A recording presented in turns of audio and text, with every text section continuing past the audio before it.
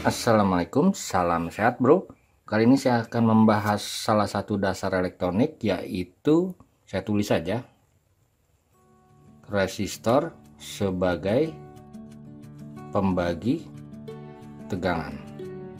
Sebetulnya dengan definisi ini saya pribadi tidak setuju. Kenapa? Saya contohkan saja. Bila kalian buat resistor sebagai pembagi tegangan seperti ini ini tegangan input V misalkan ini R1 R2 maka kita sebut saja ini VR2 jadi rumusnya seperti ini VR2 sama dengan R2 dikali tegangan input dibagi R1 ditambah R2 ini misalkan saja misal R1 sama dengan R2 sama dengan 1 kilo maka VR2 1 kilo dikali tegangan input ditambah R1 ditambah R2 ini didapat setengah V.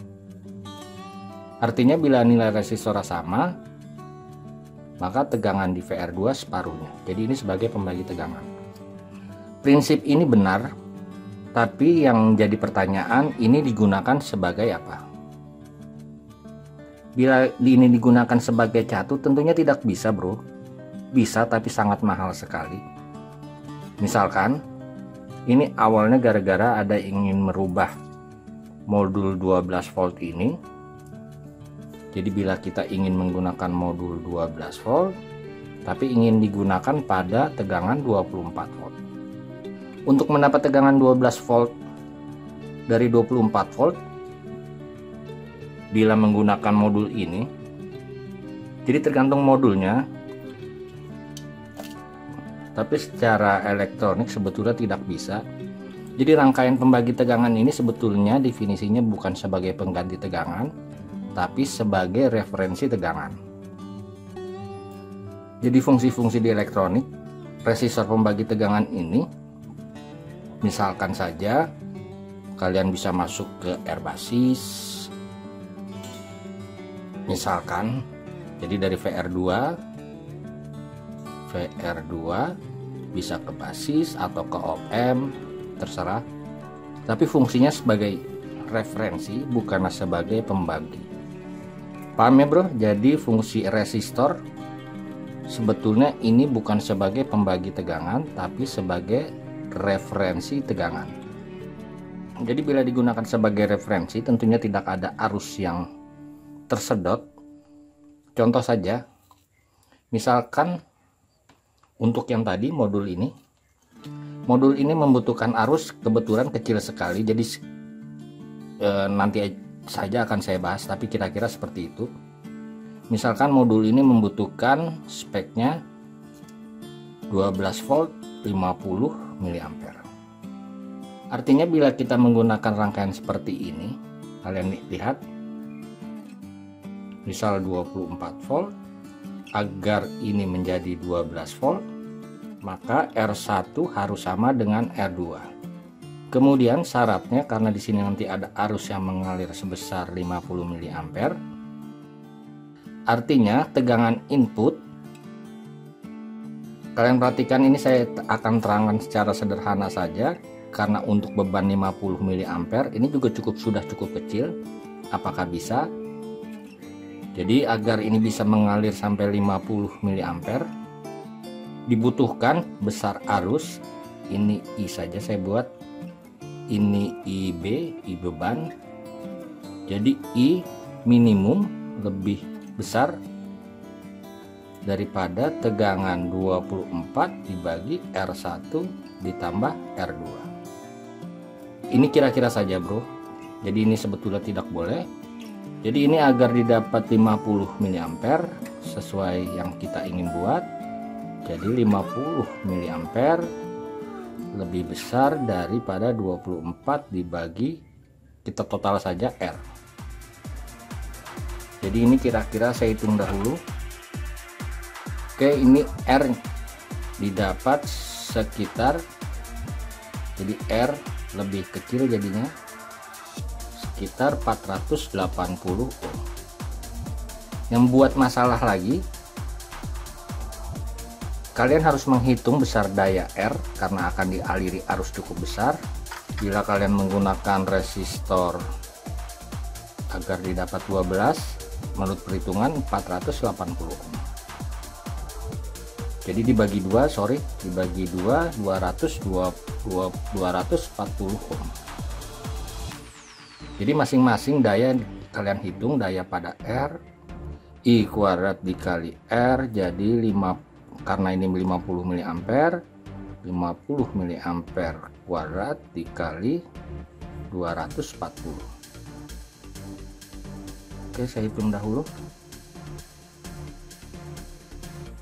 didapat sekitar 0,6 watt.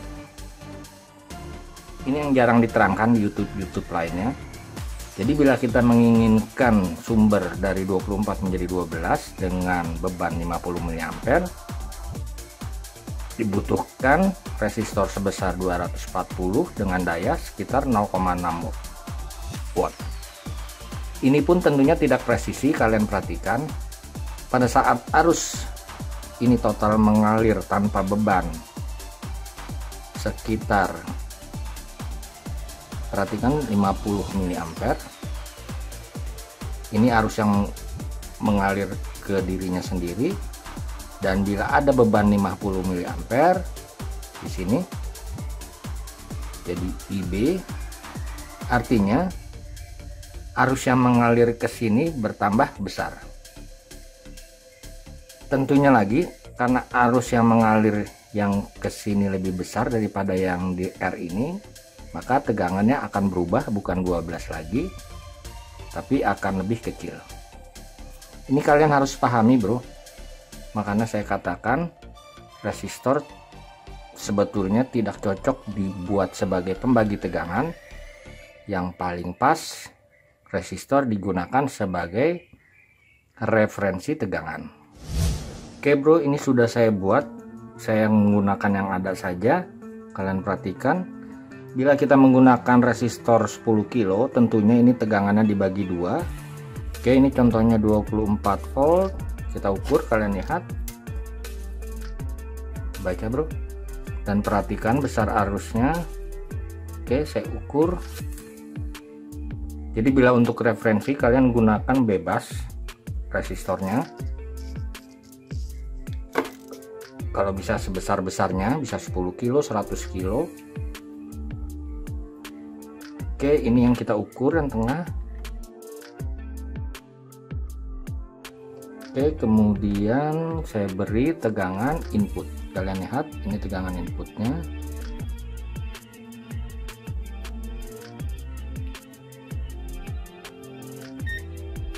DC nya 12,5 sedangkan inputnya sorry 25 volt. Lihat besar arusnya.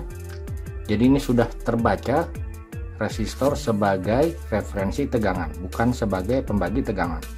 Karena beda bila pembagi atau referensi menurut saya beda. Oke satu lagi. Saya sudah siapkan ini. Ini bila nanti akan saya coba seperti ini.